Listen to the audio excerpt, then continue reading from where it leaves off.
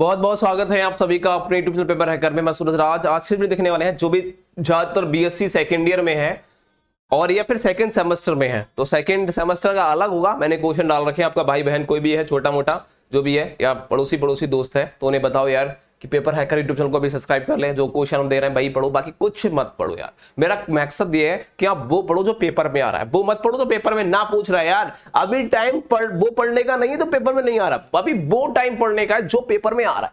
समझ रहे ना? तो वो पढ़ो। तो आपको क्या करना होगा? सबसे पहले आप किसी भी यूनिवर्सिटी से एनी anyway, तो आपको जो बता रहा हूँ भाई पढ़ लो बाकी कुछ मत पढ़ो। अब देखो यहाँ बोला गया है BSc third year sorry second year botany का थर्ड पेपर ठीक है? अब आपको क्या करना होगा कि 2022 के यदि आप टॉपर बनने वाले हो 85 परसेंट प्लस की बात करने वाले हो तो यही पढ़ लो। 15 से 17 क्वेश्चन लगभग में, और 10 क्वेश्चन एग्ज़ाम से दो दिन पहले दूँगा, जो आपके पेपर में छपते होंगे। जो आपके पेपर में क्या होगा बेटा? छपते होंगे। समझ रहे ना? छपते होंगे। तो आपको क्या करना है? चलो, पहले तो जो जिसने सब्सक्राइब नहीं किया, चैनल को सब्सक्राइब करो करो। करो करो करो करो यार अभी। और हाँ और बेल आइकन को प्रेस कर देना ताकि नोटिफिकेशन आपको मिले। वो भी यार दबा दो। दबा दो दबा दो। चलो, दबा दिया। चलो, अब तो यार एक काम करेंगे। लास्ट में वीडियो को शेयर कर देना है। मैं कुछ नहीं कह रहा कि आपको अभी मत शेयर कर दो। लास्ट में जाकर वीडियो जब खत्म हो जाए तो एक अपने व्हाट्सएप ग्रुप जो भी है, या फेसबुक आप चला रहे हैं तो फेसबुक पर शेयर कर दीजिए इस वीडियो को। अब देखो ध्यान से। देखो। इस क्वेश्चन को देखिए। 2022 में आने वाले क्वेश्चन।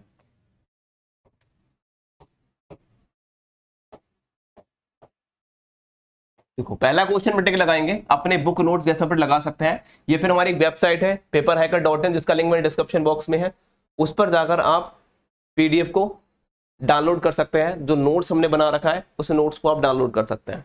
देखिए, ये है रसारोहण क्रिया विधि किस तरीके से होता है, वो आप देखेंगे। मैक्रो और माइक्रो तत्व, जिसे हम ट्रेस और ट्रेसर एलिमेंट बोलते हैं, इन दोनों तत्वों को जो हमारे पौधों में पाए जाते हैं। कुछ पौधों में बहुत ज़्यादा तत्व पाए जाते हैं, एलिमेंट्स पाए जाते हैं और कुछ कम पाए जाते हैं। तो ट्रेस और ट्रेसर की बात की जा रही है, उन दोनों को देखना है। पौधों में भोज पदार्थों के संवहन सिद्धांतों के बारे में याद कर लेना है, ये मोस्ट इंपोर्टेंट है। यह है जल संवर्धन, क्या होता है? जल संवर्धन को आप पढ़ लेना।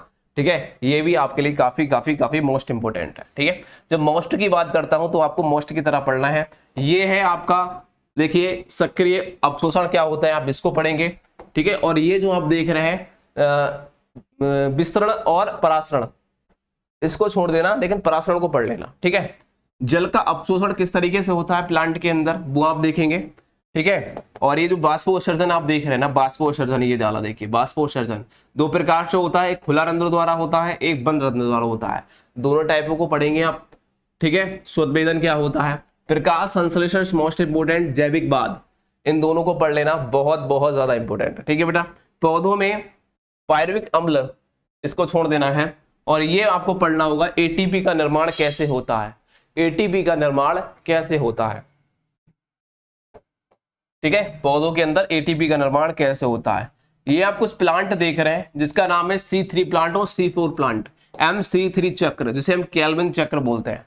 मोस्ट इंपोर्टेंट मोस्ट इंपोर्टेंट लगा लो बेटा। सौ परसेंट पेपर में छपेगा। जब छपेगा ना तो आपके सामने आते ही आपकी जो दिल से ना, जो खुशी उत्पन्न होगी, उसकी कल्पना आप खुद नहीं कर सकते। समझ रहे ना? और ये देखिए, ये है श्वसन। दो प्रकार का होता है, एक है ऑक्सी शोषण एक होता है अनऑक्सी शोषण ठीक है? दोनों प्रकार के शोषणों को पढ़ेंगे।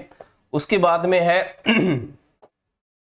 पादप वृद्धि हार्मोन्स क्या होते हैं, जिसे हम पादप गति कहते हैं ग्रोथ हार्मोन्स दो, देखिए, तीन तीन यहाँ मैंने इंपोर्टेंट जो ग्रोथ हार्मोन्स है, वो तीन दे रखे हैं। इथाइलिन होता है ऑक्सीजन ऑक्सीजन होता है और जिबलिनिस होता है। इन तीनों हार्मोन्स को अच्छे तरीके से पढ़ लेना ये किस तरीके से प्लांट पर कार्य करते हैं, प्लांट में वृद्धि उत्पन्न करते हैं, ठीक है? ये ग्रोथ हार्मोन्स कहलाते हैं, जो प्लांट में वृद्धि को उत्पन्न करते हैं। इसमें देखिए, यह कार्बो कह सकते हैं कार्बोहाइड कार्बोहाइड्रेट्स क्या होते हैं? कार्बोहाइड्रेट्स को पढ़ेंगे, मोनो डाइपोलीसैक्राइड्स। अब देखो, जब कार्बोहाइड्राइड पढ़ेंगे तो सैक्राइड्स वहीं आपको देखने को मिल जाता है, पॉलीसैक्राइड, मोनोसैक्राइड साइक्लोसाइक्राइड ये सब चीज़ें, ठीक है? इसको आप पढ़ेंगे। ये है प्रोटीन्स प्रोटीन्स की संरचना को पढ़ेंगे। मोस्ट इंपोर्टेंट है। इसको छोड़ दीजिएगा, कोई दिक्कत नहीं है। बाकी जो हम बॉक्स में बंद कर रहे हैं, वही पढ़ेंगे हम लोग। बाकी कुछ नहीं। इंसुलिन में डाइसल्फर बंद, इसको छोड़ दीजिएगा। ये वाला देखिए ईसी कोड क्या होता है? लिपिड के महत्व और बसाव के बारे में आप याद करेंगे।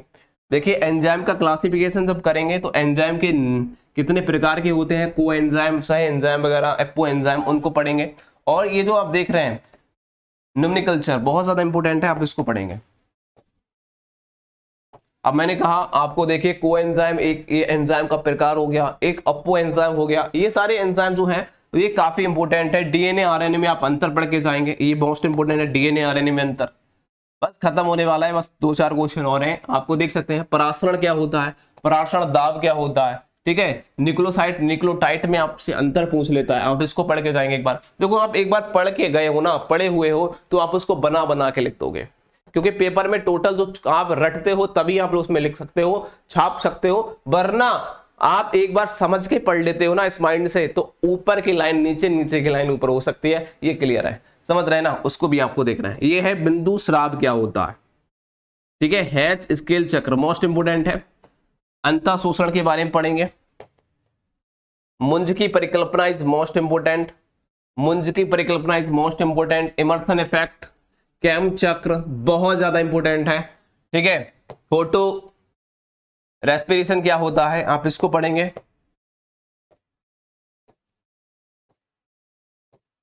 और फ़ोटो रेस्पिरेशन के बाद में आप पढ़ेंगे, देखिए। ये गया फ़ोटो रेस्पिरेशन ये है। इसके बाद में आप पढ़ने वाले हैं।